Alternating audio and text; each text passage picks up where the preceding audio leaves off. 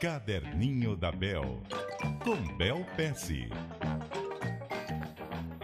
Muito bom dia para você, Bel Pesce. Bom dia, Milton, e boa sexta-feira, ouvintes. Pois é, e como é uma sexta-feira, é um dia de fazer o desafio aqui no Caderninho da Bel. Qual é o nosso desafio? Olha, Eu trouxe um desafio que para algumas pessoas vai ser difícil, mas que eu prometo que valerá a pena.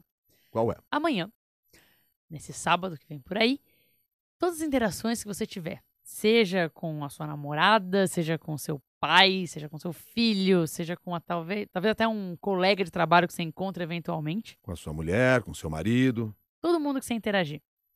Ouça tudo que eles têm a dizer antes de criticar ou julgar qualquer coisa que seja falada a você. Ouça tudo que a pessoa tem a dizer sem julgá-lo. Sem julgar. Qual é a vantagem? Tem dois lados que eu gosto bastante disso. Primeiro, um julgamento mais amplo. Se a pessoa estiver falando de coisas com as quais você discorda, não sobre você, mas em geral, se você julga no ímpeto, às vezes você perde, perde a oportunidade de aprender alguma coisa sobre aquele assunto.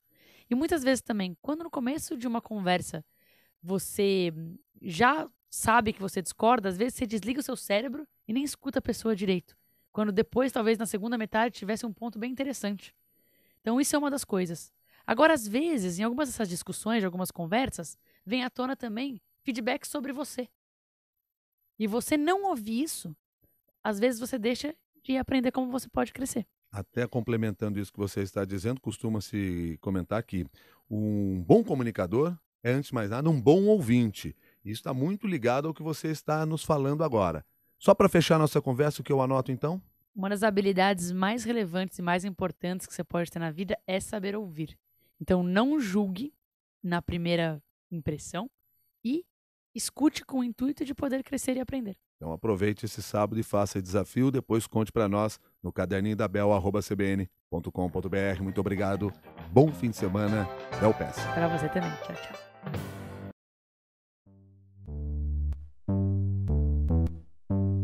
Bel.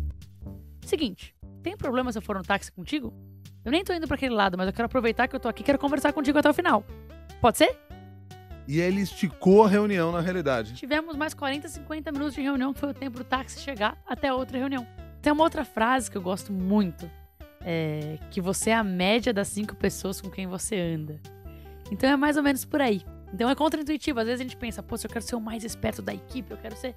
Será que isso realmente é o que você quer? Ou será que você quer aprender com outras pessoas? A Disney tem cinco pilares. Um pilar é liderança. Outro pilar é fidelidade à marca. Outro é criatividade e inovação.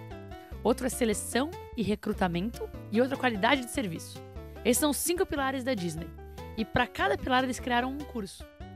Então, se você acessar